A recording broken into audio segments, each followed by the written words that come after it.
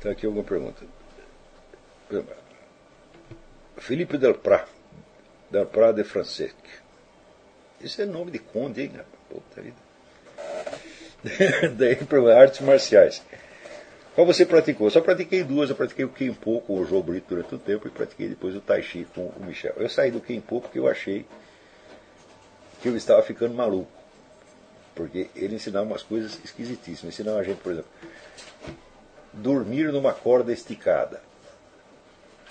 Enquanto você não conseguisse dormir, você caía, evidentemente, né? A hora que você puxava um ronquinho ali, acordava e ainda estava pendurado na corda, você aprendeu. Também botava a gente em círculo e fazia agora vocês ficam correndo em círculo. Corra, corra, corra. Agora você dá um passo na parede. Né? E vai aumentando a velocidade. Agora dois passos. Agora três passos. Quando você chegava a dar cinco passos na parede, você fala, eu estou voando. né? e daí eu comecei a achar que eu estava com superpoderes. Eu falei, olha, eu não tenho capacidade para fazer esse negócio porque eu vou ficar maluco. Tem gente que pode, faz, faz aquelas coisas todas e ainda acha, fica humilde, mas falando, eu não, eu vou. Estou sendo corrompido por essa técnica. Eu larguei. Tenho a maior admiração pelo João Brito, é um grande amigo meu, adoro ele também. Mas eu não vou treinar aquele negócio, não. É... O Tai Chi eu pratiquei durante muito tempo e me fez muito bem. Né? Eu me lembro que durante todo o tempo que eu pratiquei aquilo, eu jamais tive um resfriado. Jamais tive um resfriado, jamais tive uma noite de insônia. E qualquer negócio que tinha, vamos dizer, da concentração na barriga, né?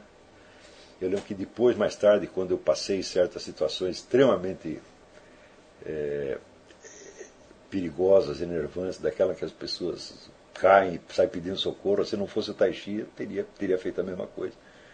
Mas eu ficava lá concentrado a barriga. Então, né? Podia cair o mundo à minha volta, eu não estava nem, nem, ligando. Me aprendi, aprendi muita coisa com aquilo. Só que eu acho, isso é uma, não, é, não é uma coisa certa que eu estou falando, mas é uma impressão minha. Eu acho que o Tai Chi ele atrai problemas, tá entendendo? Quer dizer, você está assim, como desafiando o diabo, daí o diabo vem. Tá então, tudo, todas essas coisas têm os seus perigos. Né? É...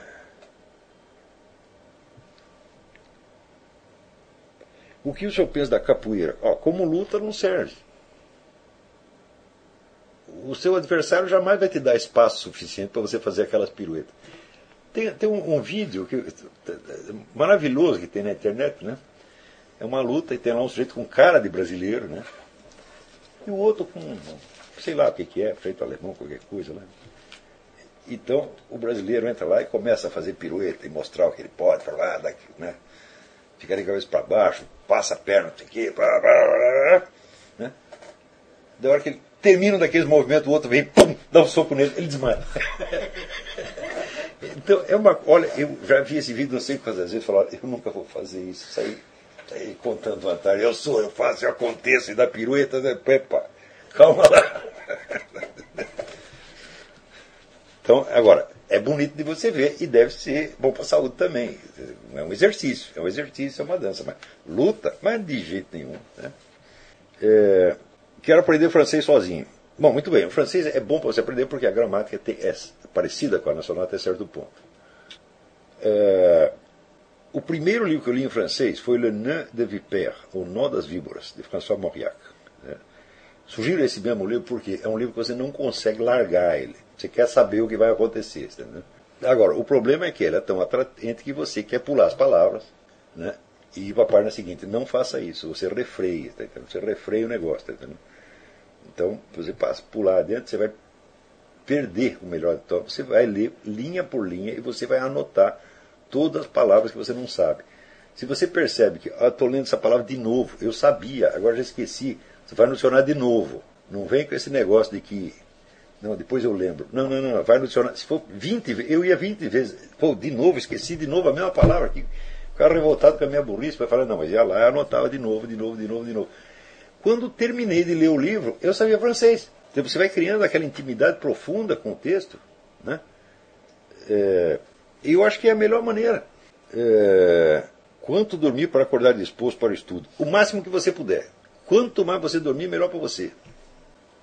O, o Bruno Tolentino, ele tinha isso assim, ele às vezes sentava para trabalhar, assim, trabalhava 20 horas direto, sem cansar, era um negócio impressionante. Né? Mas ele dormia, às vezes dormia 16 horas por dia. E isso foi mas é um dos segredos dele ter durado tanto depois de ficar doente, por 20 anos. Olha, eu assim, tudo deve ser feito no macio, tá entendendo? Quer dizer, você acordou, está com vontade de ficar dormindo? Vai, durma. Vai chegar uma hora que vai acabar isso aí. Né? Quer dizer, tem, se você seguir, vamos dizer, mais ou menos a, a inclinação natural do corpo, as coisas, você, faz, você faz as coisas direitinho. Agora, não adianta você fazer isso se você ficar ao mesmo tempo com angústia, se cobrando não sei o quê. Ah, eu tinha que fazer tal coisa, tal outra, outra, outra. Isso aí é, é, é inútil. Tá certo? O problema não é quantas horas você vai dormir. O problema é o seguinte: quando for para dormir, é para dormir. É, quando for para estudar, é para estudar. Não pode ficar naquele meio a meio. Se bem que a tendência natural é ficar no meio a meio. Quando você está deitado para dormir, você fica querendo levantar, fica se cobrando que você deveria levantar para fazer tal coisa. Depois você está estudando, você está com vontade de ir para a cama dormir. Então, você faz primeiro uma coisa, depois você faz a outra. Quer dizer, não é o quanto, é isso aí, esta, esta separação. E entender o seguinte, veja, o tempo que você está ali dormindo, sonhando, tal, você não, não é tempo perdido. Estou falando, às vezes um sonho é melhor do que você ler dez livros. Pô. Quer dizer, se você está tá, tá sinceramente querendo né, chegar a conhecer as coisas, compreender melhor o mundo que você está, se você quer isto, é porque você determinou, é porque é a sua natureza, o seu coração quer isso. Ninguém está te cobrando nada. Eu também não estou te cobrando nada. Então, vai fazendo não pelo esforço, pela prática. Não, não, não, não. É pela audição sincera. É sinceridade o que interessa, não é esforço. É, na verdade, você pode dizer, sinceridade pode ser até um esforço. Não é isso? Mas eu sempre lembro aquele o João que dizia isso, né? Se, olha, problema de motivação, eu digo, olha, você tem um touro correndo atrás de você para te chifrar, você não precisa de motivação para sair correndo. Precisa. Então, na verdade, se trata de você reagir de acordo com a situação real. Uma vez eu observei o Gugu ao longo de um dia inteiro de aula. Ele tomou café de manhã no início da aula, até ir embora da mesa de bar pós-aula, não comeu senão meia dúzia de batatinhas fritas do começo, pinçadas do prato alheio. Diz que se almoçasse mesmo, seu rendimento cairia consideravelmente. Como você harmoniza a alimentação fisiológica? Bom, isso aí é cada um, cada um. Eu nunca tive o menor critério para essa coisa. Tem dia que eu passo o dia inteiro sem comer e não tenho fome. Tem outro dia que eu penso em comida o dia inteiro. A vida é assim, entendeu? De fato, não há, não há um ritmo. A chave do negócio é interesse sincero. Você só vai fazer aquilo que você tem interesse sincero fazer. Então, diga para você o que você realmente quer fazer. Se você está fazendo um negócio, mas está querendo fazer outro, digo, mas faça o outro logo, pô. Esse é o velho ditado latino. Age quod ages. Quer dizer, faça aquilo que você está fazendo. Se você não consegue prestar atenção naquilo, está pensando em outra coisa, faça outra coisa. Quer dizer, isso aqui é concentração. Quer dizer, concentração quer dizer você não, não dividir a sua energia. Agora, o que determina o fluxo da nossa energia não são as nossas intenções conscientes ou o dever que nós achamos é o interesse real. O, interesse, o desejo, a imaginação segue o desejo. E a ação segue a imaginação. Tá certo? Então, aí não, não adianta forçar muito. Agora, eu quero que você desenvolva interesse por alta cultura e que busquem. Eu digo, você precisa se forçar para fazer isso? Eu digo, não, tu segue essas aulas aqui você vai ver que você vai ficar. O seu desejo de alta cultura vai ficar verdadeiramente obsessivo. É só você ouvir o que eu estou dizendo e isto vai funcionar. Portanto, não precisa forçar de maneira alguma. Agora, se depois de você ouvir tudo o que eu estou falando aqui, você ainda não estiver interessado, então é porque tu é uma besta quadrada mesmo, tá entendendo? Não tem jeito. Nada se pode fazer com você. Mas isso não vai acontecer com nenhum de vocês. Epa, tem mais aqui.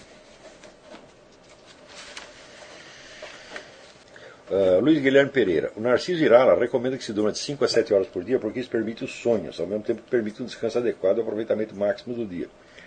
Você acha que isso é mais adequado para quem tem obrigações civis, emprego, etc? Olha, eu já disse esse negócio de dormir, eu acho bom dormir bastante. Eu mesmo não durmo tanto quanto eu desejaria, mas não durmo por quê? Porque é impossível para mim. Porque uh, as pessoas querem que eu trabalhe, droga. Mas se eu pudesse, eu até dormiria mais. Agora, antes de dormir, você reza. Peça a Deus que te dê um, um sonho profundo, com sonhos que, que te façam bem.